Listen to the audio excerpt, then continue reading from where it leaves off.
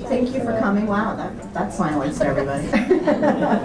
um, thank you for coming to uh, the History Department's annual Webb lecture. And our Webb lecture is also sponsored by the Humanities Forum, which is part of the Dresher Center for the Humanities here at UMBC. Um, I want to give a little shout out, uh, some PR for the Dresher Center. Um, their next event is on, ooh, this is really loud, isn't it?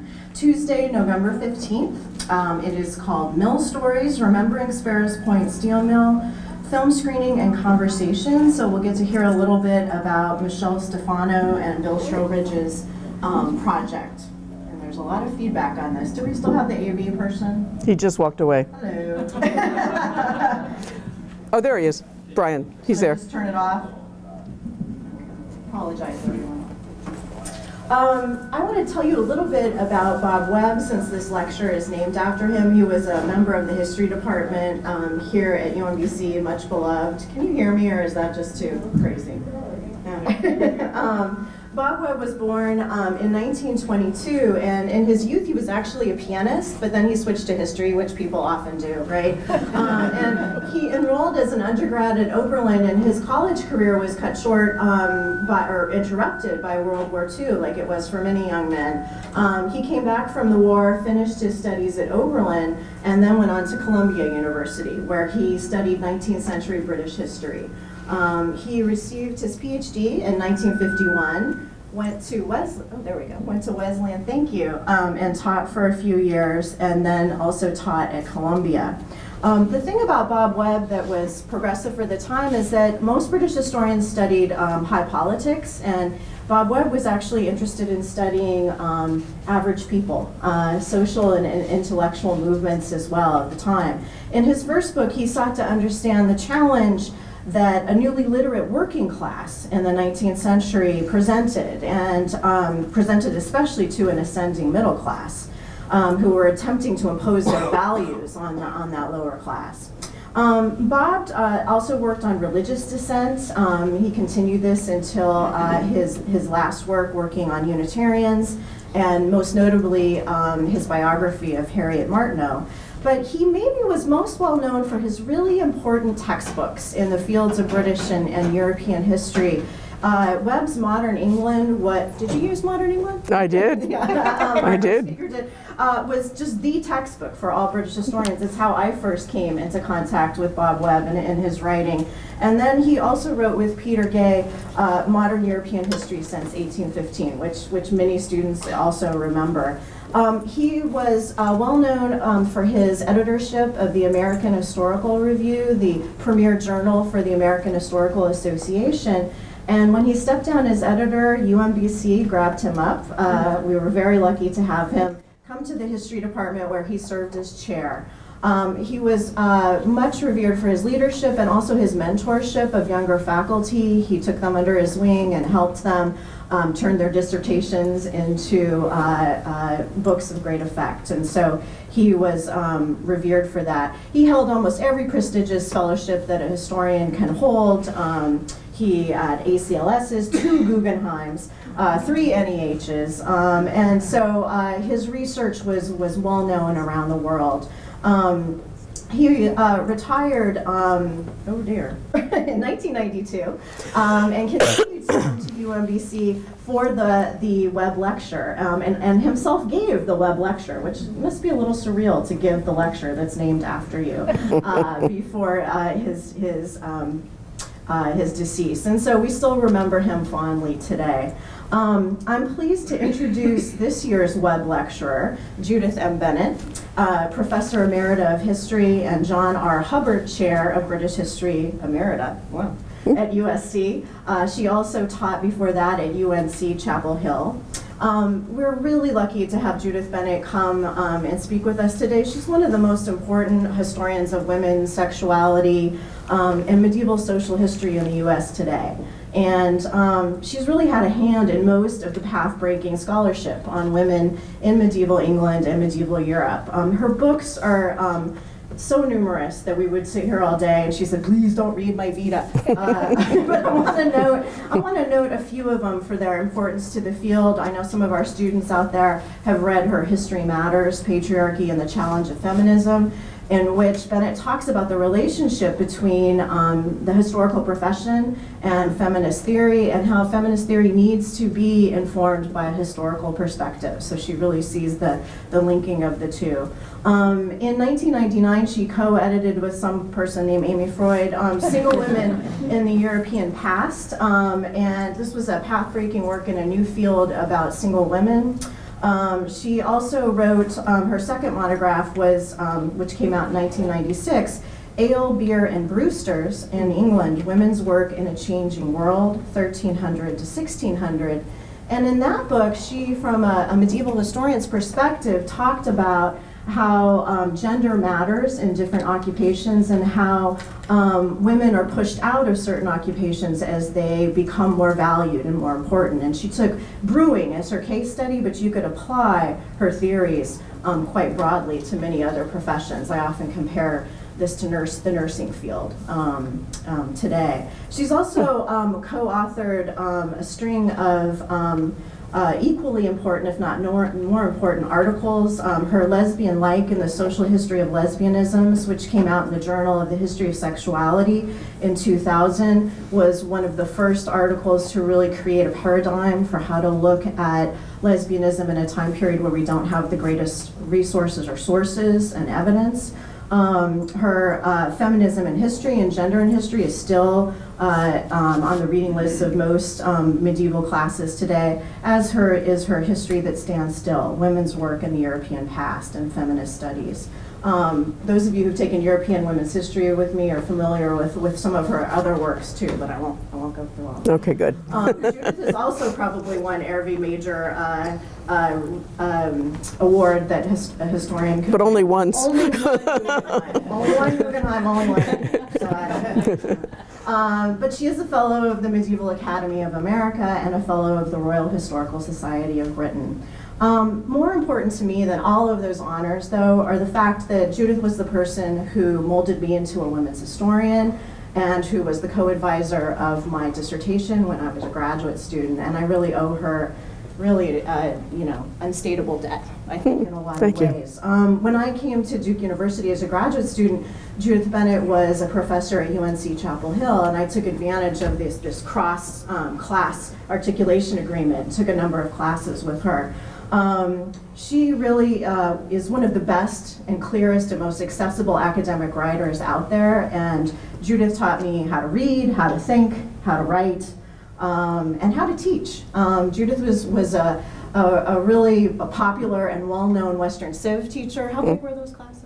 300 students. 300 students. She would pack them in, those UNC football players. Um, Yeah, and they, they all voluntarily. I'm sure there was no culture credit involved. Um, and uh, I, I think that um, I was really impressed at both her accessibility and her analytical ability at the same moment to meld those two both in the classroom and in print and um, really inspired me. So anything that I do good in the classroom or good on the page is, is, is all to Judith's credit and everything bad is, is of course my fault. Um, Judith also taught me that if you're not saying something with which others disagree, then you're probably not saying something. You're not saying much um, that's important. She's always been willing to uh, push boundaries and to say things that are provocative while, uh, while backing those things up very well evidentially. Um, always with civil discourse, right? Um, and so. Um, No bullying. I, I think that um, Judith was an activist historian before that was cool, um, and today that, that model is something that we, um, we cherish, and she really pioneered the way. So uh, today we get to hear a little about her new research on medieval girlhood, and I'm sure we're going to learn a lot. So I'd like to uh, thank Judith and introduce her talk, Wretched Girls, Wretched Boys, and the Medieval Origins of the European Marriage Pattern. Judith. Amy. Very.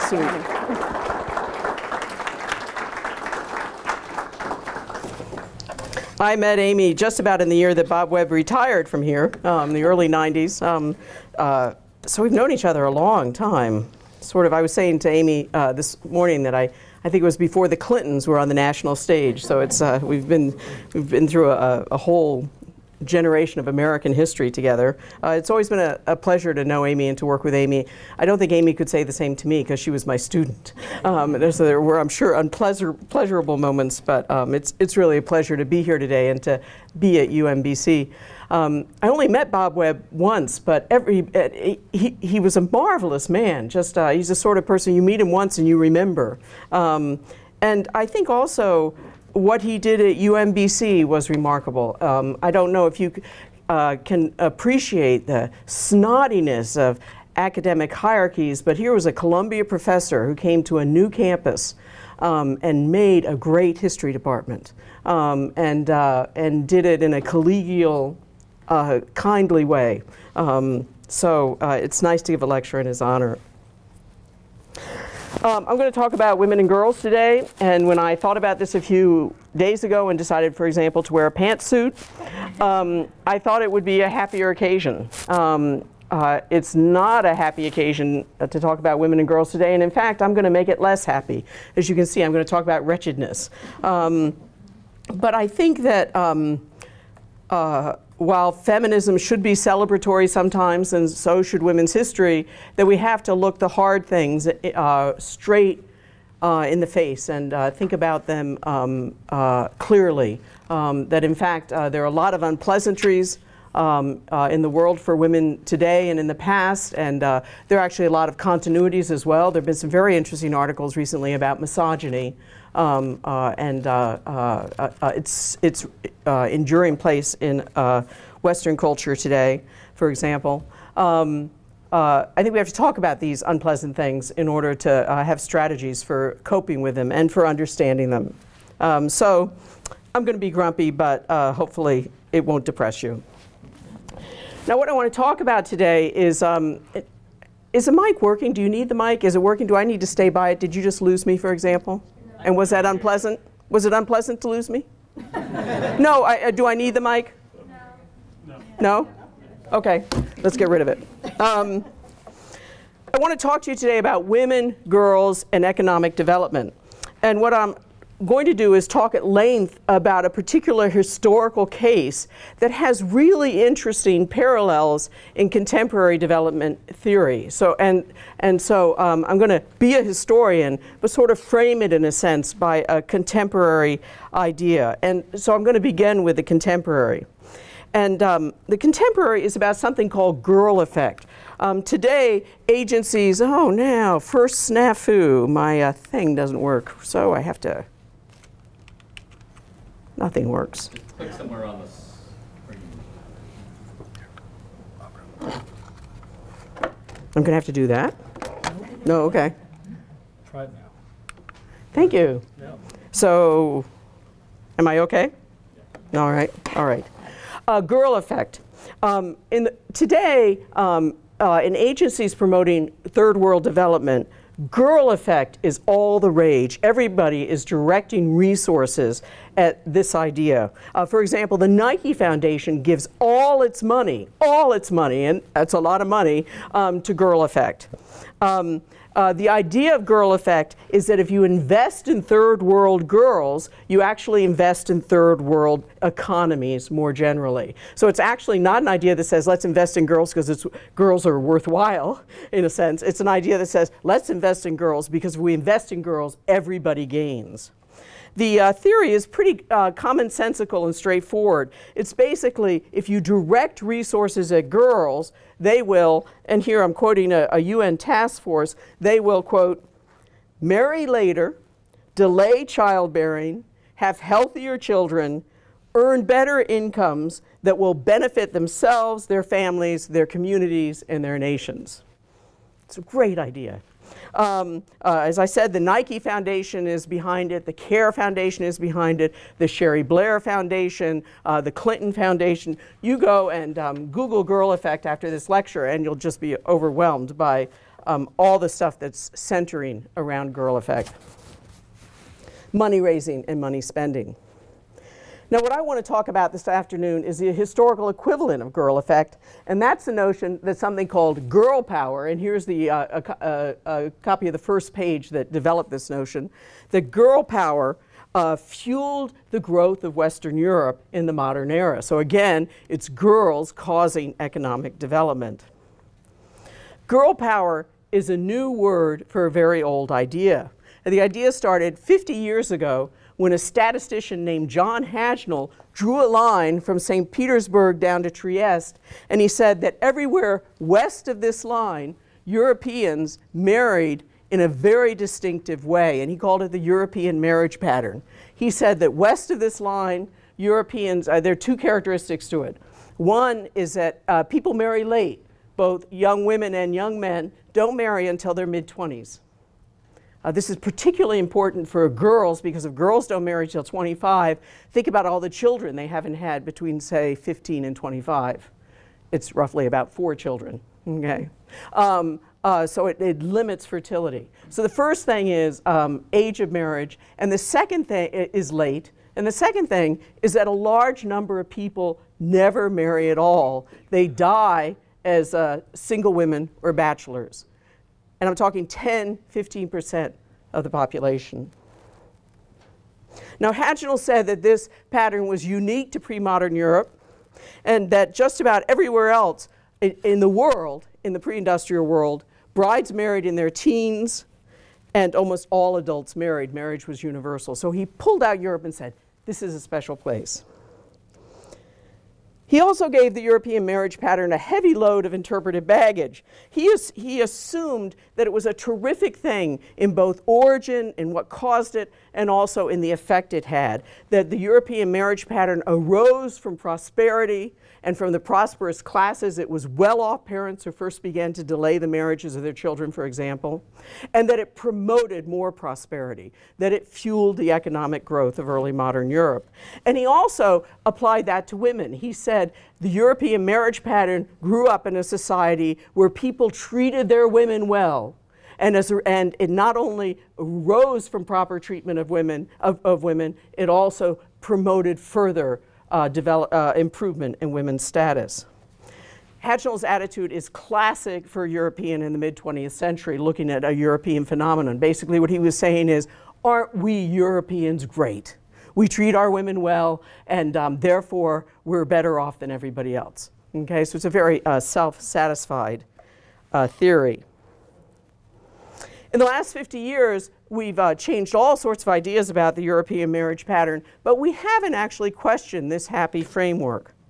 The reigning theory about it today is that it began on both sides of the North Sea, so that it began in the Low Countries and in England. Um, uh, uh, after the devastating plagues of the mid 14th century, after what's usually called the Black Death um, uh, uh of 1348 to 49. How and why did it start there and, and, and uh, at this time? Um, it works something like this. So many Europeans died in the plague of 1348 to 49, probably about half of the European population gone in a year. Okay, so many Europeans died that there weren't enough people to do the jobs that needed to be done. So there was a shortage of laborers. That led to higher wages, what's actually called a golden age of laborers, where if you were a wage worker, you could get good work at a great wage very easily. So higher wages, that meant that women who are usually at the bottom of the wage market were able to compete for better jobs than ever before. And because they're getting uh, better employed than ever before, they decide not to, mar to marry later or not at all. And hence, you have the European marriage pattern. This theory also says, moreover, and this is where you get girl power, the choices these well paid women made not only kickstarted the European marriage pattern, but also set off a, a, series of chain reactions that fostered economic growth and, in fact, European modernity uh, which is, of course, the first modernity in the globe. Historians, and historians are usually pretty cautious people, but historians have been remarkably cautious um, about talking about what the European marriage pattern did. For example, um, one historian has said that it was the foundation of Europe's early rise to riches. Okay. Another has said the European marriage pattern explains the continuing puzzle of why Western Europe gave birth to the modern world. Okay. So again, just let's go back to that map um, and think about Hajnal's theory, he's pulling this out, and now historians are saying this is why Europe uh, plunged, uh, plunged ahead of China and India uh, and the Central, uh, Central America and so on. It's because of this pattern of marriage. It's a huge claim. Um, and of course, uh, another huge claim is simply in, in, the title of this article, girl power. Um, it's uh, the notion that um, better educated, better paid, less fertile girls fueled Europe's economic growth. Um, I'm going to argue something very different this afternoon. And what I'm going to argue is that women in England, which is the best documented case we have, began to delay marriage or never marry at all, not after the plague, not after 1349, but before 1349, in the century uh, before the Great, uh, the Black Death, in the century between 1250 and 1350. And I'm going to argue that it was economic hardship, not economic opportunity, that drove the change. Rather than a happy history of girl power, I'm going to give you an unhappy history of wretched girls and wretched boys. Okay, this history is uh, rooted in the English countryside among peasants, uh, roughly, as I said, between 1250 and 1350. Um, and in the century or so, be, and, and let me just first of all talk to you about, here's this chart, what I've called on this chart, the good old days, um, the time before 1250. Um, in, this, in the two centuries before 1250, um, peasants prospered. Uh, they, it was easy for them to get land. It was easy for them to marry. It was easy for them to raise large families, and population grew accordingly. Um, population estimates for the Middle Ages are always kind of a joke, but um, uh, uh, the best estimate is that uh, between 1086 and 1250, so over the course of uh, 200 years, English population rose from about uh, 1.7 million at the time, say, of William the Conqueror to um, uh, 4.2 million by 1250. After 1250, everything goes to hell. Um, the rural economy began to sputter in all sorts of ways. There um, harvest failures. I put on here just the first one in 1257 to 8 because it shocked everyone so much. There are also um, uh, diseases of uh, sheep and cattle which you might think are kind of risible, but in fact are absolutely devastating um, uh, to the rural economy. There are um, many poor harvests. Real wages fall, which means you might still earn a penny a day, but you can't buy for that penny a day what you had been able to buy uh, a decade before. And also rents are rising. Peasants don't own their land. Uh, they're mostly um, uh, renters, and, and they're having to pay more and more for their land. By the 1290s, things are really bad for peasants in England. Uh, most peasants were poor, very poor. And then it only gets worse in the early 14th century. Um, first, there's what's called the Great Famine uh, uh, from 1215 to, I'm sorry, 1315 to 1322. 10 to 15 percent of Europeans starved to death in these years um, uh, because of bad, uh, heavy rains, bad harvests, and cattle disease. And then things improved very briefly uh, in the decades between, uh, in the 1330s and 40s. And then, of course, the Black Death hits and uh, uh, Europe is completely devastated. So that's economic history in one slide. Um, blame for this century of agrarian crisis is easy uh, to ascribe, and historians spend a lot of time uh, debating it. Um, uh, we can talk about rapacious landowners, uh, lords and ladies who charge too much for rent. We can talk about greedy kings who charge too much for taxes. We can blame peasants who had too many children. We can uh, uh, do arcane things like talk about shortages of silver and gold, which affected the uh, supply of coin, underdeveloped markets, climate change, um, uh, depleted soils, and perhaps most fun of all at the moment, a volcanic eruption in Indonesia in 1257, which actually does seem uh, to have affected uh, the climate at least for a few years. Um, and that's obviously fun to has been fun to track and uh, to theorize about. whatever the causes for this problem, I don't care about the causes. What I care about is what its most acute manifestation, and that is scarcity of land. There were too many people in England uh, by 1250 for the land that was available to them. Um, and worse yet, this scarcity of land was exacerbated by its unequal distribution, um, which divided peasants into haves and have nots. At the top were what we might call classic peasants, and I searched the web and came up with a picture of a classic peasant for you.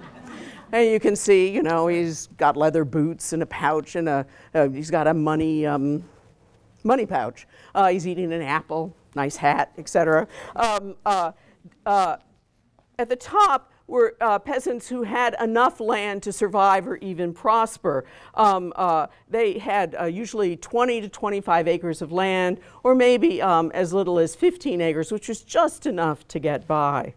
Um, they were a small privileged minority in the countryside. This is what you'll find if, if you're looking for an image of a classic peasant. But the truth is, this is um, a small minority of peasants, maybe as much as 25% of peasants.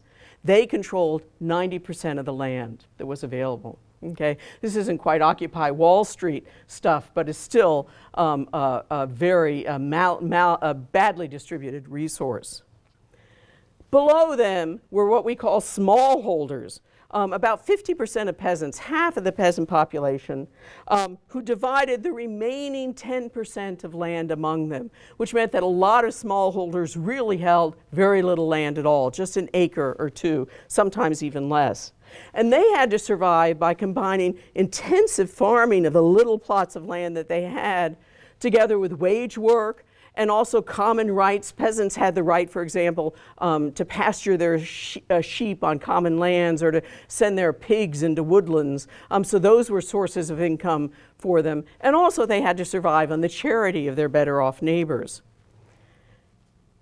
In crisis years, they had to resort to things like thievery, um, sending away their children, and even uh, what we call distress selling, selling what little land they had um, in order to survive. This is short term smart, long term disastrous, because then they ended up landless. These smallholders had a grim existence, but theirs was uh, better than the remaining 20% of the rural, 25% of the rural population. I call these people sub uh, peasants because they were utterly landless. They had no land at all. They weren't just land poor, they had no land. And they survived by their wages and wits alone. I think uh, Monty Python is actually a better image for these people than uh, that encyclopedia um, picture. If we could walk through an English village and say 1290 or, or 1275, I think we'd see both sorts of these sorts of people. We might even see some women too. Um, uh, but the better sorts were a lucky and privileged minority, and I think that's what's critical to keep in mind. Now, this poverty is um, uh, absolutely central to what I want to argue today because scarcity of land, um, uh, I think, explains the development of, um, of the European marriage pattern in this population. And that's because land was a precondition for marriage among these people. Here's an image of medieval marriage with I was, I was saying to Amy earlier, I love it because they look so grumpy. Um, and uh, I also love the huge ring, um, which is not because medieval artists were stupid, but because they wanted to emphasize the ring um, uh, as a central part of the ceremony. Um,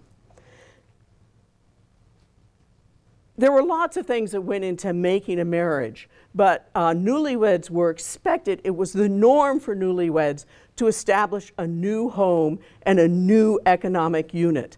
Um, that, so, and to do that, they needed to have land. This is in the jargon of the field called neo-locality. They, they, they moved to a new place to set up their marital household. Now, marriage involved in the Middle Ages much more than just getting land and, and setting up a household. Um, priests had a lot to say about how you married and who you married. Uh, manorial lords and ladies did too because they charged some of their peasants a fine for permission to marry. Some peasants were free and some were unfree, and it's unfree peasants who had to pay for permission for their uh, women had to pay for permission to marry, not men. Men could marry as they liked. Um, parents obviously had a lot to do with uh, determining how a marriage proceeded because parents would endow their children with the resources they needed. Neighbors gossiped about it and also gave gifts at weddings. And actually, this might surprise you, but even the principals themselves um, uh, by the 14th century were recognized to have a say in their own marriages. Um, uh, uh, uh the church taught um, uh, that marriage required the free consent of both the bride and the groom. A bride could give her consent from the age of 12 on, and a groom his from the age of 14 on. Um, and that's one of the rules that people look at and they think, oh, marriage must have been really early in the Middle Ages if girls could consent at 12 and boys at 14. As you'll see, I think uh, uh, we have evidence that suggests those are absolute minimums. In all these negotiations, though, with priests and parents and all these others, what really mattered was property. And you can see this in the major source we have for the lives of medieval peasants. These are what are called manorial court rolls, which are every three weeks, everybody in a village, you're actually a good size for a village, we'd all come together and we discuss all the problems we were having as a community. And it's recorded um, uh, uh, in records that we have for England in this period. And then when you look at these manorial court rolls, again and again, what you see is the link of land and marriage. A boy inherits land and boom, he marries. Another man buys land and boom, he marries. A girl gets land from her parents and she marries. A widow gets what's called her dower lands, a portion of her husband's estate that she can keep for the rest of her uh, life. And as soon as she gets those lands, a husband, uh, um, uh, she gets a husband as well. Now, before 1250, when land was, uh, uh, population was relatively low and land was plentiful, it was reasonable to have this dynamic of land and marriage. Um, reasonable to expect that uh, a new couple would have sufficient land to support themselves and the children to come. What's critical, I think, is that after 1250, with a tumbling economic situation, this expectation endured you needed to have land to marry, but the supply of land was exhausted. Now, although both boys and girls grew up aiming to get land and to marry, um, their, their route to that destination differed. And it took me years to realize this, and, um, which is kind of embarrassing to admit. But anyway, um, parents, when they looked at their sons and thought about settling them in life, what they aimed to do was get land for their sons, and then a wife would follow. What they aimed for their daughters was to get a husband for their daughters who had land. Okay, so when you're plotting to get your ch children settled in life, it's land you want for the boys and a husband, which means a man with land, for your daughters. And so, to prove my point to you today, what I have to do is um, about the age and frequency of marriage among these people. Um, really, my point depends on how readily young men could get land and how readily young women could get appropriate husbands. So that's what I want to um, explore for you today. And I found it helpful to anchor these questions in a very specific time and place, which is where I'm going to take you now. The place is a village called, oh, I don't know why that was there, but anyway, um, Weston up here. Oh dear, I just turned it off. Well, anyway, Weston up there, you can see the red arrow uh, in England. It's in a very flat part of England, actually a part of England reclaimed from the sea. It's a tiny village. Um, oh, and I have some pictures here. That's its church, which was, it's actually medieval, uh, 12th century, but it was uh, redone in the Victorian era and sort of tarted up. Um, and that's the only pub in the town, which uh, has just been uh, saved by a local farmer who claims it's um, the best gastropub in South Lincolnshire, which I think is kind of a dubious distinction, but um, uh, so it goes. So we're in, I'm going to take you to Weston, and I'm going to take you to a particular date, which is 1269. So right, uh, quite early in the century I'm talking about. And that's when a unique inventory was made that went through the village and listed the names of all the serf tenants and then listed their children and told us what they were doing. Um, uh, there's really nothing like it except for this place in this time. Um, and here's, an, uh, here's a page from it. It's in the British Library. And I've circled one entry. Um, uh, and this entry says John Wiseman has two sons and two daughters, namely, and actually, if you're trying to read it, that says Thomas. Can you see Thomas? And Richard, um, uh, uh who hold land, and Betta, which is Betty. Okay, can you see Betta? Um, who is married in Spalding, and Elena, Helen, who is a vagabond. Okay? Um, there are 55 of these entries, um, uh, dealing with about, uh, I think, 250 uh, children. So we have uh, 200, uh, uh, 55 parents and what they've managed to do in terms of taking care of their children, or where their children are at this time and place. Now, the age range of the children in this inventory is very wide. Sometimes uh, the children are described as young, juvenes, and some, some of the children, like Bet- Betty, are married. Um, so it's a huge uh, range of several decades of children. I'm going to call them all Generation W for Weston. Um, and here's what their situations look like in 1269. Uh, you're going to see this table again and again, so don't panic. Um, as you can see, it runs from young and living with parents um, down to dead, um, and everything in between. Um, this is not a demographically useful list. Um, you can look at it and think, oh, the sex ratios, oh, they're pretty equal. Oh, you know, maybe we can do something with this demographically. But it's not useful demographically, and you can know that right away because only three children are dead, and uh, infant and child mortality was much higher, or reported as dead, is much higher than that. So it's not demographically useful. Also, it's important to remember that Weston is not a closed community. Uh, the people of Weston, uh, where's my tape, would have moved within about a 50 mile radius of, the of their village all the time, going to markets. They would have married out of Weston and, and so on. So uh, uh, it looks like a closed community, but it's not. Um, what I'm going to use this for is really more illustrative than probative. I think it's really useful to think about this, what it's telling us these children are doing. Um, uh, uh, but you have to think about it pulling in data from other places to fill it out. It's a snapshot, if you will, with all the advantages and disadvantages of that. Okay, let's start uh, by considering the sons in Generation W who were successfully married in 1269. There are 25 of them, and as you can see, I've crossed out the two daughters just because I don't have time to talk about them.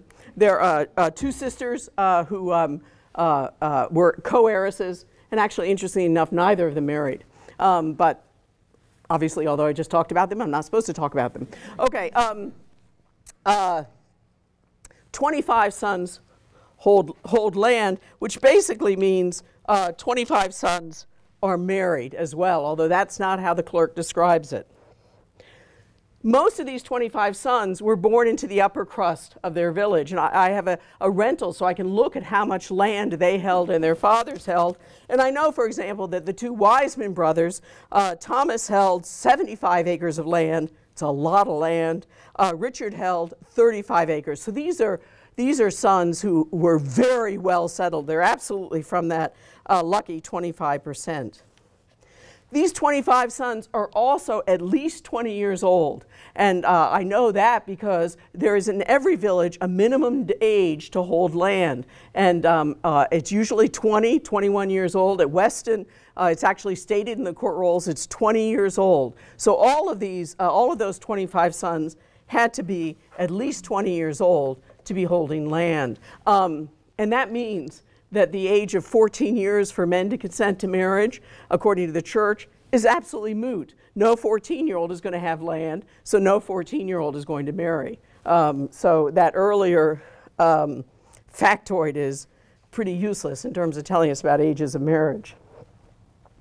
Once a man gets to the age of 20, um, how does he get land? So once he's capable of holding land, how does he get it? Some of them inherited land. Uh, rules vary throughout England, but there's one rule that was, ap- you know, sometimes it was the youngest son, sometimes the oldest son, sometimes all sons got land. The one rule that was absolutely always the same is that if, you, if there were any sons, they got the land before any daughters. Um, so uh, Emma and Agnes Ringolf, the two heiresses there, one thing we know is they had no brothers. That's the only way they got land. So it's male inheritance. Sons inherited land. They also got land as gifts from their parents. They also bought land. They would uh, save money from their wages, maybe get loans from people or from their parents, and buy land. There was actually a pretty active market in land. and some sons got land by agreeing to support a current tenant and, until they died. So, um, uh, where's Terry? Terry. Uh, uh, I'm an old, decrepit widow, as you can tell, um, and I have six acres. Terry could come and say to me, um, uh, I promise to maintain you and give you three bushels of, of, of uh, wheat every year and one cloth and so on. Um, and I would say to him, Okay, I give you my land as long as you maintain me. And so Terry would maintain me, and then as soon as he died, he would be able to hold that land. And as soon as he made the agreement with me, he'd be able to marry. We know about these agreements because they often went wrong. Um, and uh, there were, and the other way that men got land in this period, and particularly in this period, is they married. Um, well, actually, I just Terry could have married me as well, but let's not go there. Um, uh, they married widows because widows had dower lands, and after 1350, widows rarely remarry because they're not desirable economic properties. But before 1350, in this land-hungry century I'm talking about almost every widow, as soon as her husband dies, as soon as she gets uh, her dower lands and enters them, she gets a husband uh, to help her manage those lands. Um, so that's how these boys got land through inheritance, through purchase, through gifts, through maintenance agreements, and also by marrying widows. However, they got their tenancy, these 25 boys men, I should probably say, but I always think of them as boys. Um, it, it, anyway, um, uh, uh, were lucky, uh, lucky boys or lucky men, um, and a lucky minority. If you look at in this chart at who was likely an adult son, so I guess not a boy, I'll have to start calling them men. Um, uh, all of these, I think, in ecclesiastical careers, employed, living away from home, and vagabonds, these are, I think, grown men. And I think, unless, I have somewhere noted, I can't do math on my own. How many of them are there? Um, I have 32. Yes, let's hope they're 30. Oh, no, they're 32 up there. Um, oh, it is also 32. And then we don't know how many of the sons reported as living with parents are actually grown men living in the homes of their birth, um, uh, still living with their parents. So that's an unknown number. So there are in Weston in this period, if you think about men in their 20s or older, there are more men who are unmarried landless and therefore I think likely to be unmarried than there are men who hold land and are married.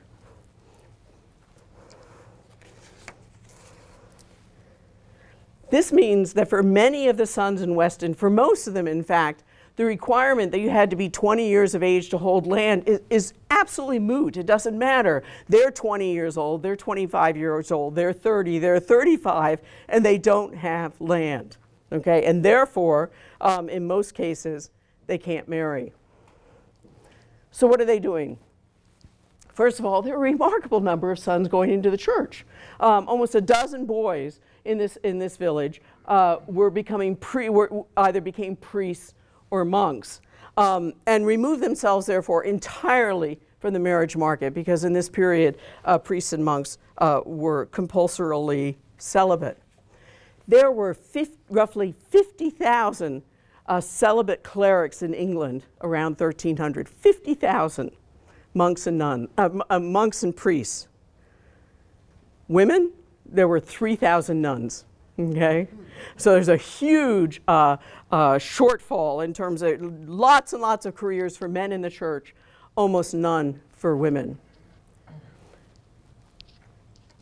Other men in this, and uh, here they're represented by category six, took up salaried employments. And these are men who are things like shepherds or the prior's servant or, um, uh, um, well, those are the two I can think of at the moment, um, who uh, uh, they're, being, uh, they're, they're working on a, on a yearly salary they might take a wife, but they don't need a wife to do their job. A shepherd is a lonely occupation. It doesn't require a complex household economy the way being a farmer and uh, cultivating land does.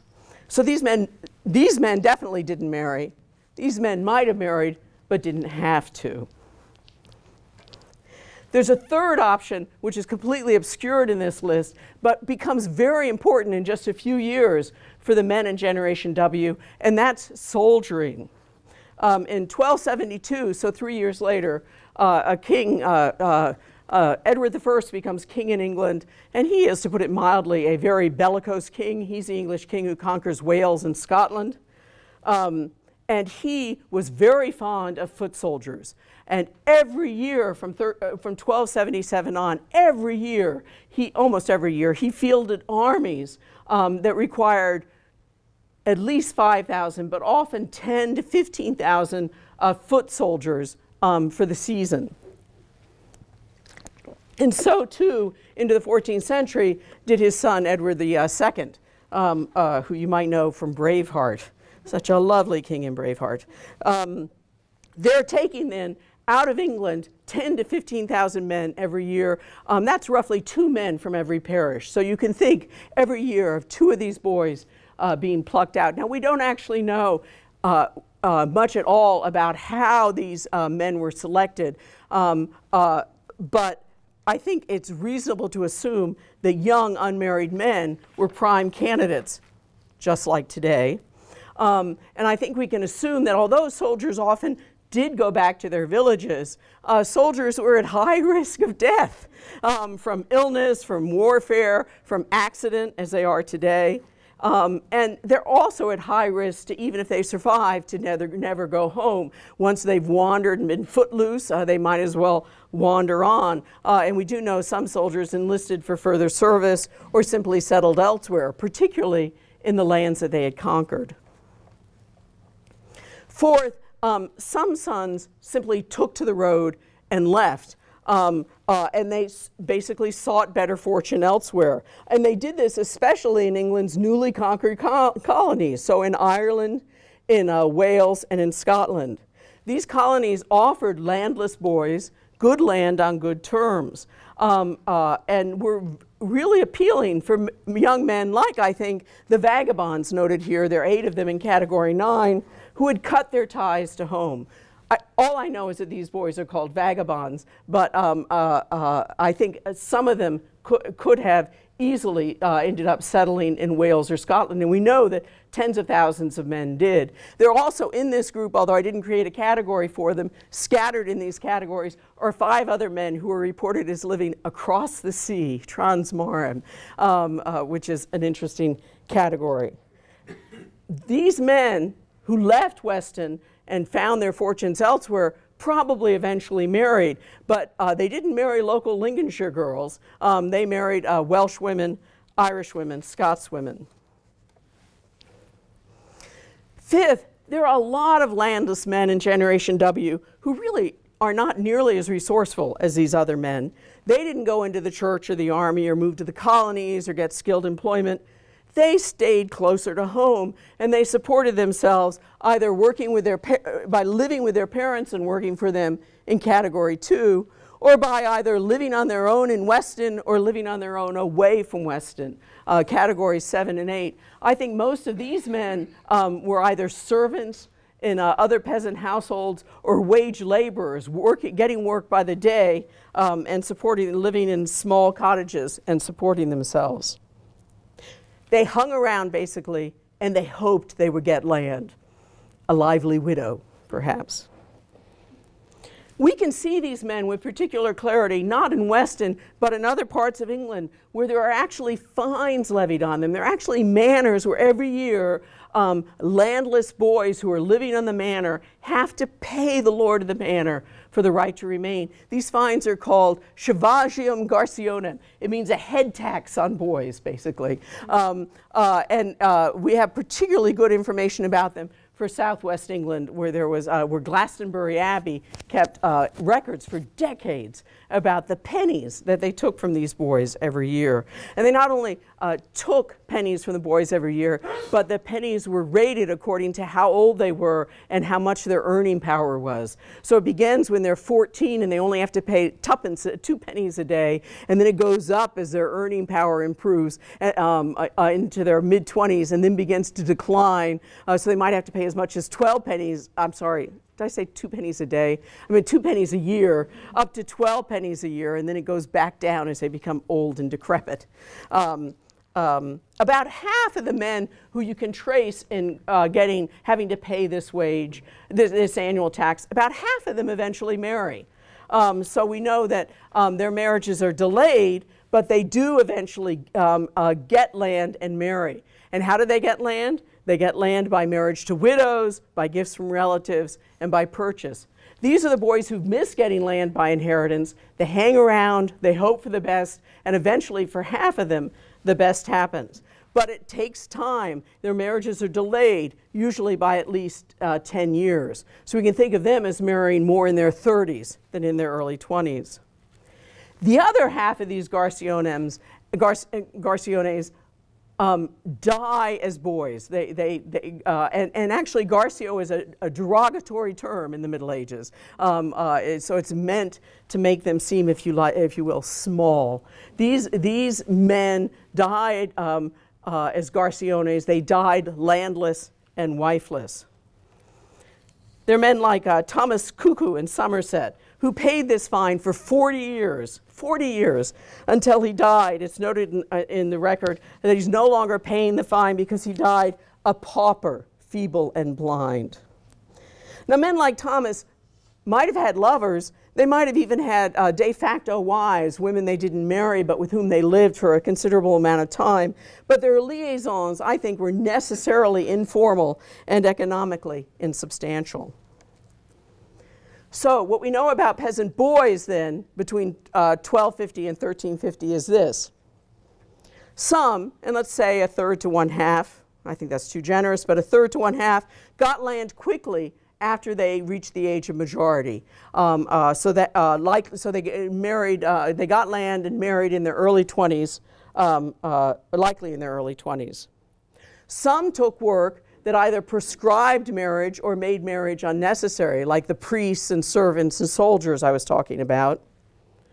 Some removed themselves from the local scene at all entirely, and if they ever married, married elsewhere. And some simply hung around, um, ho hoping for land and laboring in the meantime for their keep. And half of those hangers on uh, eventually got land and married, but they married late. And half of them never married at all. So that's the boys. Now, if I'm correct about the boys, what I think we should expect to find is a lot of daughters under stress. Every daughter, unless she was a, lucky heiress like the two in the uh, table who I'm not talking about, um, uh, every daughter, what she needed to do was find a husband and his land and therefore marry. If would-be husbands were decamping into the church or to colonies or simply surviving as poor landless um, uh, bachelors, then a lot of daughters were fated to either linger long in their parents' homes or to have to fend for themselves. Well, that's, I think, what we see in this evidence, and I need to go here. Yes. Weston parents were, as I calculate it, roughly as successful uh, by 1269 as settling their daughters as their sons. So you see 43 daughters are married and only 25 sons have land. And you might think, oh, well, you know, the daughters are doing much better. But you need to add to that the sons who have been put into ecclesiastical careers and the sons who have uh, been put into uh, skilled professions uh, like being a servant to the prior or a shepherd. And if you add those up, I think the column for sons adds up to, it does, to 41. Um, and uh, 43 for the married daughters. So it's a, a, a I think we can say parents uh, were roughly uh, equally successful uh, by 1260 in settling their sons and their daughters. But what about the daughters who were not settled in 1269? Some stayed on with their parents. And it's interesting, many more daughters stayed on with their parents and sons. I think that's a, a, an interesting discrepancy. And it's possible, I think, that parents were slightly more inclined to keep adult daughters at home than adult sons. Or if they had a choice, they might have kept an adult daughter at home and sent an adult son, son out, oh, to be a vagabond or something. Although there are equal numbers, essentially, of male and female vagabonds. Anyway, um, uh, certainly some daughters uh, stayed at home. Um, and they were luckier than the other daughters, of whom there are quite a few, who had left home, left their parentals' homes, and were living either in Weston on their own, away from Weston, or were vagabonds. These girls um, were on their own. I think they were working as uh, live in servants, perhaps surviving as day laborers. um, perhaps leasing small plots of land to farm. Um, this is a hard life for anyone, and it was a hard life for the boys who had to do it too, but it was harder for daughters than it was for sons. Um, uh, daughters face more risks. They, uh, they were able to find many fewer paid jobs. They made less money when they did wage work. And they had um, much, much less access to land because landholding was basically a male prerogative. If these women managed to marry, their marriages were delayed. And I think many failed to marry at all. I've managed to track the marriages of uh, some of the 42 women who were living at home with their parents in 1269. Um, uh, um, I have tracked uh, a dozen marriages for those people. It's hard to track marriages. You wouldn't expect to be able to track marriages for all 42. But what's interesting is I've tracked a dozen marriages for the women in category two. For the women in category seven, eight, and nine, I've been able to find no marriages at all. And in fact, there's only one who I've been able to track later at all, and that's Helen Wiseman, who was a vagabond in that first example of, uh, that I showed you. Helen Wiseman, who was a vagabond in 1269, so I think she was at least 15, if not much older by then. Nine years later, is reported in the Weston court rolls uh, for having uh, for fornicating, for having uh, sex while unmarried. So by then, she's at least 25. I think she's probably likely very poor. She's not married, but she's clearly not chaste. I think, uh, I think it's fair to assume that Helen Wiseman is not married and she would be married if she could be married. The late 13th and 14th centuries are, um, uh, in an odd sort of way, a golden age for landless poor women. um, and one of the ways that you can tell this is that the English language briefly incorporated new words to describe them and their activities. And these are words um, like anilepi woman and selfode and lairwite and childwite. Uh, you'll be able to throw these out at the Thanksgiving dinner table and impress your relatives. Um, the first word, anilepi woman, um, is richly documented for 13th and 14th century East Anglia. So it comes from eastern England, actually the area where Weston is and south. It derives from a gender neutral term, anilepi man. And by the way, um, I'm impressed with UMBC in all sorts of ways, but I encountered just around the corner the first gender neutral bathroom I've ever seen, um, which was uh, kind of a thrill for me. I've read about them but never seen one before, so hopefully that won't be my happiest memory. Anyway, gender, gender neutral names, gender neutral bathrooms, all the same. Um, uh, uh, it's a category, it's a term for people who are not married. It literally, literally means only man, only woman. So we, um, but also people who are not married, who are landless, and who are very loosely um, uh, connected to their communities. These people were, as one clerk in East Anglia put it, the lowest of people. And then he grumbled, he said, they're innumerable. We can't count them. Sometimes they wax in numbers and sometimes they wane. Women were so prominent among these innumerable poor people in East Anglia that from the mid 13th century, the female sp specific term, anilepi woman, develops. And any time that you get a female specific term developing, it tells you there are a lot of women in that category. Every extant list of these people, whether they're called anilepi women or anilepi men, includes many women, often mostly women, and sometimes all women. And here is a sample list. Um, it says, actually, I can't, uh, up there at the very top col column, um, it says anilepi men. So this is a list that's labeled anilepi men. And if you go through it, well, the first woman is a Matilda. Can you see her? Well, anyway. Um, uh, uh, this list has 19 uh, women in it, six men, and three children. I've looked at the history of, I've, I've, tracked these people in Horsham, and I can tell you more than their names. They weren't transients, they were actually living in Horsham over many years. None of the women uh, was married or widowed, but a lot of them had children. Maybe I should say several had children. Interestingly enough, a lot of them lived with another sibling, sometimes with a brother, um, uh, more often with a sister. Um, uh, and um, these people had no land and no sheep, uh, no cattle either. Their survival depended upon what the better folk of Horsham considered to be reprehensible behaviors. And that's what I can see them doing in the court rolls of Horsham. What do they do? They steal wood, they steal hay, they pilfer grain at harvest, they receive and sell uh, stolen goods. They refuse to contribute to parish fundraising. Imagine that. Um, they dodge repaying debts. Uh, they engage in casual prostitution. Uh, they would have been very aggravating neighbors, I think, for fine, upright people like me. Um, but, but they were doing what they needed to do to survive. Selfode is an equivalent term, but it's uh, used in a different region in northern England, um, uh, and its, uh, its derivation is utterly unknown. Um, uh, so we don't really know what it means. I like to think it means you're holding yourself, and that's all, but uh, that's just my um, ignorant fantasy. It's found in only, we only have about a dozen references to it, and it describes the poorest of the poor in the North. As one clerk casually put it, these selfodes, uh, these are paupers who are called selfodes. Who were they? We don't know. We don't actually have lists of names like we do for anilepi men and anilepi women. And only a, a, few scattered references, all in Latin that's gender neutral, except for one instance that uses an adjective that's a female adjective. Um, so it's one of those cases where medievalists build a huge amount of stuff on one little fact. Um, and that's what I'd like to do to say that um, this term that we've taken to be gender neutral, and most historians of the English North have assumed describes landless men, actually describes a category of people uh, that is, uh, includes some men, but actually rather more women. Lair White and childwite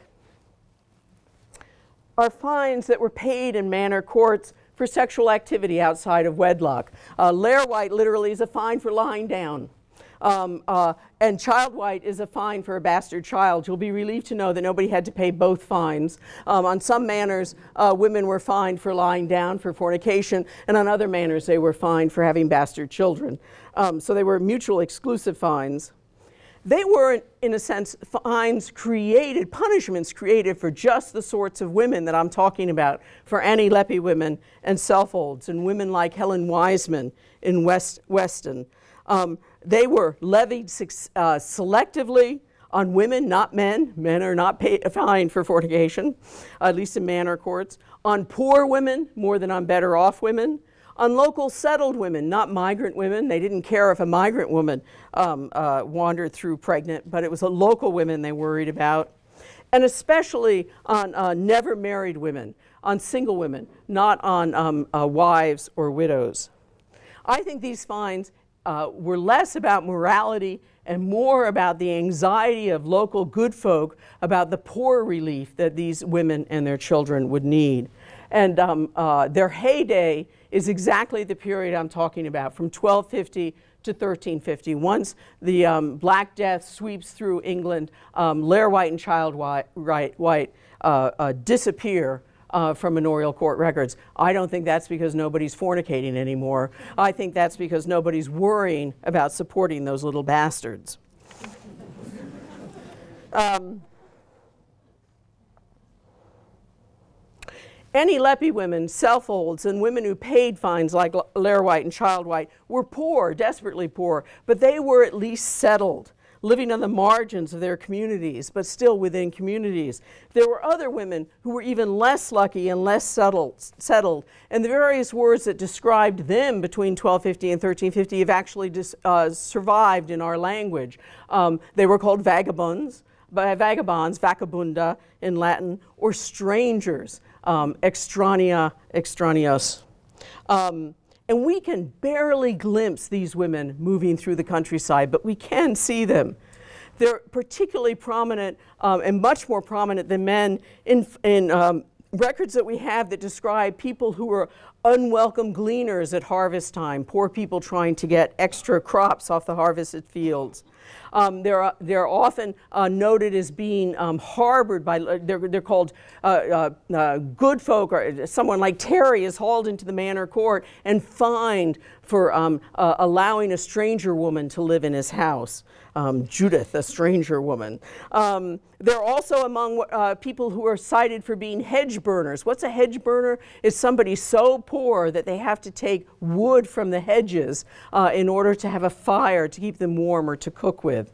Um, and they're also, we find these women among people who are outrightly expelled from villages and towns. Um, in Horsham, for example, uh, in the late 13th century, there's something like 150 people who are expelled. 90, 90 of them are women or their children. Some wandering single women who were unwilling or unable to settle died on the road. And we can even see these in the records that we have for late medieval England, because uh, in Bedfordshire in the late 13th century, we have the very first surviving coroner's records, um, which tell us about unexplained deaths. And those records tell us that uh, if, you, if you sort out the poor, homeless people who are dying in Bedfordshire in the late 13th century, uh, uh, we see many more women than men. Uh, we see a, a, poor woman, a stranger as she was called, found in a ditch and presumed to have died of the cold. A migrant laborer known only as Alice, who stopped for the harvest in a village called Risley and was found the next morning, um, uh, uh, her brains battered in with a pickaxe. Um, or Emma Hatch, who begged door to door in Beeston on New Year's Day, 1274, until she was, as the coroner's records put it, seized by the cold and died. For women like Emma Hatch or Helen Wiseman or Agnes Neth, late marriage or no marriage at all were not pleasant choices born of prosperity and productive of still more prosperity. They were personal disasters wrapped in poverty. So, what I'm suggesting this afternoon about the advent of later marriage and less marriage in Europe is very different from the happy narrative of girl power. I've talked about poverty, not prosperity about children who are forced by their parents to go out and support themselves, not children being nurtured by their parents towards highly skilled work followed by prudent marriage. And I've talked to you about young people who are unable to marry and actually old people who are unable to marry too, not about people who are choosing to delay marriage or actually avoid marriage. If I'm right, the European marriage pattern, in England at least, and England is our best documented case, did not arise from girl power or the empowerment of girls, nor um, uh, did it promote further uh, uh, enhancement in the status of women. Two further points. I'd like to just point out to you very quickly that I made this argument um, in a way that is not the way people usually talk about the European marriage pattern. This is how they usually talk about the European marriage pattern. It's a demographer's topic. They use lots of look at that equation, God help us. Um, uh, and they use, um, actually, that's an almost impossible to read graph. Um, this table is, is, is pretty straightforward, but they have very robust data and they collect it and they crunch it and they present it in uh, quantitative ways. Medievalists, including me, tried to do this in the 80s and 90s. We tried to play with the game that the demographers set out for us to do, and we couldn't do it. Um, and I think it's time for us to, and basically what happened is that for the last 20 years, we've just not talked about it at all. We've just all done other things. Um, and I think it's time for us to say, look, our data is different. Um, and and uh, we can't um, play the game by these terms, but we can play the game um, uh, by logical terms. Was it easy to get land and marry uh, between 1250 and 1350 in England? No. Is it likely, therefore, that there are people who never married or married late? Yes. Can we see that in contemporary evidence? Yes, we can see it in Selfodes and anilepi men and anilepi women and White and Garciones and so on. These are, I think, the wretched girls and wretched boys for whom marriage in Europe first became an elusive goal, um, or a goal achieved late or not at all. Now, what about girl effect? If girl power did not drive the European economy in the 14th, uh, in the later Middle Ages and in the early modern period, might girl effect be a wrong-headed strategy in the 21st century? I fervently hope not. I think it's manifestly a good thing that NGOs are directing their resources towards poor girls. And it's also manifestly crazy to start drawing causal links across centuries and continents and cultures. Girl effect um, ne- need not have worked always and everywhere to work today. But I do think that it's worth sprinkling a, a, a dose of historical perspective over girl effect. I think the girls like Emma Hatch and Helen Wiseman and Agnes Neth really wanted to marry. Um, and I think, and I think they wanted to marry as soon as they could. And I think that was a good judgment on their part. Marriage was what settled adulthood was for these girls, and it offered these girls their best hopes for lives of less poverty and more prosperity. I think it would have been hard to convince uh, most medieval girls otherwise. I also think it would be unwise to assume that if Emma Hatch and Helen Wiseman and Agnes, Agnes Neth had been trained for well paid jobs, that they would have altruistically plowed their earnings back into their natal families and their communities and promoted economic growth in the way the girl effect uh, imagines that third world girls would do. I think if, if these medieval girls had had the skills and capital, they would have saved their money, and as soon as they could, they would have bought land and married. They would have taken care of themselves, um, not necessarily their communities. And I actually think we shouldn't ask girls to take on responsibility for their entire communities. I think perhaps the larger lesson is this, and that is that in both history and in development planning, I think we should be humble about the abilities of girls and women to confound our hopes and assumptions and expectations. Yes, the historical theory of girl power makes good logical sense. Lots of people die, high wages, better opportunities for women, less marriage, therefore economic growth. It makes good sense, but it doesn't work. Um, so, too, I think, uh, might be the case with girl effect, at least to some extent. Um, uh, it makes sense, but we need to be cautious about its effects. Logical sense is one thing, what actually works for girls and women is often quite another. Thanks a lot.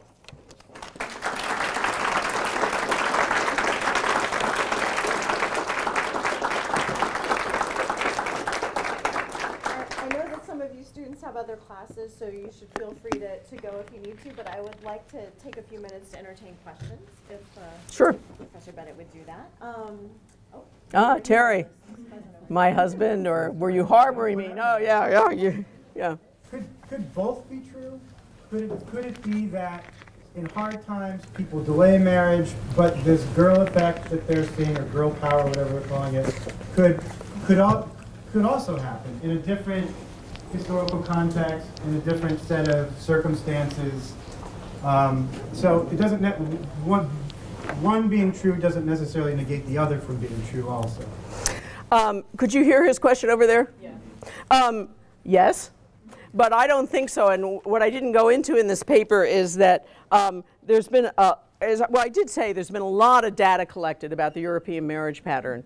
And the latest, um, uh, there are two uh, recent articles that uh, throw light on that question. One is it looks at women's wages over centuries, starting from about 1230. And there's no rise in women's wages after the Black Death. No, no, so there's no increased earning power for women no, in that golden age of laborers after 1350, which is so important for this model. It's not there. The second thing is uh, there's been a really interesting article by Sheilagh Ogilvie and um, a co-author, whose name escapes me, uh, Dennison, um, Tracy Dennison. Anyway, um, that uh, uh, uh, uh, does this sort of thing economists do. They take hundreds of articles and pull them all together and aggregate them and crunch them in various ways. And what they basically say is the European marriage pattern is not unique to Europe. It has no relation to economic growth. It's just a happy fantasy. Um, uh, so um, uh, if I work this paper up into an article, which I hope to do, in fact, when I conclude it, I think what I'm going to say is we need to put this fantasy to rest. Uh, you know, the place we can most see it is in a place where it's not promoting economic development at all. It's, it's a it's a effect of poverty, not opportunity. But good question, Terry. Your husband, I Yeah. yeah. Um, How does the European play out in an area where land might not be an issue, such as an urban area, maybe London or, um, Oh, you know, I never like to talk about cities. Um, a lot of these, uh, I think a lot of these wandering girls actually went to cities. One of the things we know about uh, medieval cities is that they had much higher numbers of women than they did of men. And medieval cities were uh, unhealthy places to live, so they relied on immigrants imagine that, uh, relied on immigrants. That's a sarcastic comment about our current political situation. Okay, relied on immigrants to um, uh, keep up their population, and they clearly got uh, attracted many more women than men. One of the big issues is there is are women going into towns because it's filled with opportunity and good things for them, or are they going to towns because they're absolutely desperate, and that's where they might be able to get uh, more charity or at least a little bit of work or work as prostitutes and so on. And uh, uh, we have very little evidence, and so we debate that back and forth. But there are a lot of single women in towns. There's not a lot of evidence for towns in this period, though. Uh, but later, there are quite a few single women in towns. Yeah. Yes? Well, on that point, the Beguine documents from the first half of the 13th century actually talk in very similar terms about the anxiety in Utrecht, the local bishop, when a group of women who are unmarried and don't have these ties uh, and, and haven't made a vow of chastity want to settle in houses with other women. Some of these women are widows. Mm-hmm. Um, so this pressure seems to be, in this case on the continent, uh, a real factor. And I wonder if there's, if, if that points away from simple issues of land to a larger phenomenon. I was thinking of, you didn't talk much about serfdom or slavery. Mm-hmm. There's been a lot of recent work on slavery. I mean, is the economy becoming so open and so dynamic that the institutions cannot accommodate matching up people on the ground? Um, uh, I don't think I would take the leap you took at the end there. Um, uh, and um, uh, I'm not sure I would uh, be talking a lot about slavery in either England or the Low Countries in the early 14th century. But what you said about um, uh, what I call beguines, and I'm sure you pronounce better than I have, but I'll just stick with my term. These are women who live in religious houses temporarily. They're sort of quasi nuns. Um, some single, some never married women, some widows, um, and and they flourish particularly in the Low Countries um, in the uh, 13th and early, well, the 13th century. Um, I hadn't thought about beguines at all, but I should absolutely add that to my essay because it's um, it's a, it's an urban phenomenon, um, and it's it's evidence we have from the Low Countries. I- There's not. I think there's one hint of a beguinage in one English town, um, but it's not an English phenomenon. Um, but It's in the east, I believe, where you're studying. yeah, in, in Norwich, I think. Yeah. Thank you. Over there, yes? Yeah, it's just a question concerning the, the nature of the, your data. Uh, because the questions you're asking are the same ones that I ask myself about a different part of the world in a different period. Um, I know you said that the chart you showed was for illustrative purposes, not probative purposes, but do you have similar patterning in other records? That's one question, because you have a sample size of what, uh, 200 or so there of persons. Um, and in particular, do you have them from regions that aren't, that have less available farmland? Because of course, Lincolnshire, East Anglia, Cambridgeshire, all those areas are the old classic grain barren territories. And, and I'm asking that because you would think either the problem would be more acute, or you might expect there to be a shifting due to property devolution and age by which, at which you can inherit land and so forth. It's just a question for, or to inform me better. Yes. I want to use this as an analogy at some point. Yeah. Um, uh, the peasants in Lincolnshire are pretty prosperous peasants. So if we're seeing stress in, in the table that I had up there, and I am seeing stress, um, I think it's likely to be um, more elsewhere. Um, uh, uh, the soil is very rich, so you can survive with relatively sm- uh, smaller amounts of land. Um, this is really a unique document. Uh, there is just simply nothing like it. I mean, there's, there are two other villages near Weston that have similar lists, but they're not nearly as informative. Um, one of them just lists the names of the children, for example. It doesn't, I mean, this is just so great that it says, you know, Helen, Helen is a vagabond and her sister Betty is married in Spalding. It's like you just want to hug the clerk for telling you those things. Um, so there's, um, there's really nothing, nothing comparable. I'm sorry. There are actually, uh, for a later period, when English lords and ladies become anxious about their serfs, uh, this is after the Black Death, there are some genealogies of serfs that are drawn. Um, uh, and uh, I've been working with some of those also for the Lincolnshire area. And, I'm- and I, I literally wasted a year of my life with them and concluded that the clerk was uh, more ignorant than I am about the family structures of these peasants. That he was, he was a librarian at an abbey, and I think he was just sitting there saying, well, let's marry Judith to Terry and, you know, hand him this child and so on, because it has the same surname. Uh, it's uh, uh, really very disappointing. It was a happy year of my life, but not fruitful. Any questions over here? I'm coming over here to offer you all a chance. No? All right, I'll go back over here. So, so I, I've got a two-part question.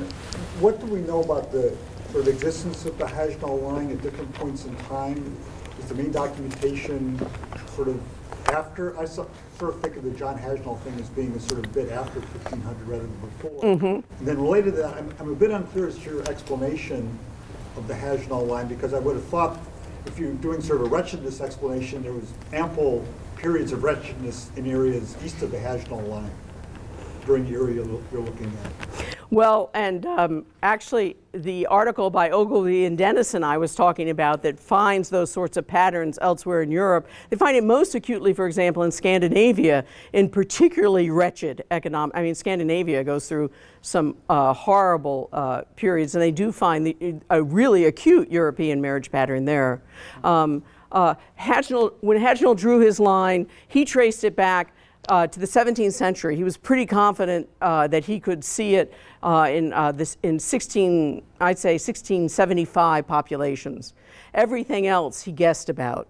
Um, uh, and what's happened since then is he basically created a small industry for early modernists, and then we medievalists who also tried to sort of pin it down um, more precisely. Um, and uh, the reason, and the girl power article that I put up there is a, uh, uh, published in a very uh, authoritative journal with a very powerful title by um, authoritative historians, and I think it is totally wrong. Um, uh, but I think it will uh, live in the imagination of historians like these things do for a, couple of decades. Um, yes? Well, do you know anything about um, previous to the 13th century, how this, at least in England, it, what it looked like? You know, was this pattern there at all, or or do we? Um, it, it, that's a great question, um, but uh, uh, uh, if you uh, this uh, this period, it's right here we begin to get all the documents I'm relying on. Um, and so for the, before here, the best document uh, uh, we have uh, the Domesday Book. way back here, um, which is not very uh, authoritative, but manor court rolls, rentals, um, uh, um, surveys that list um, how, who holds what land in the village and so on.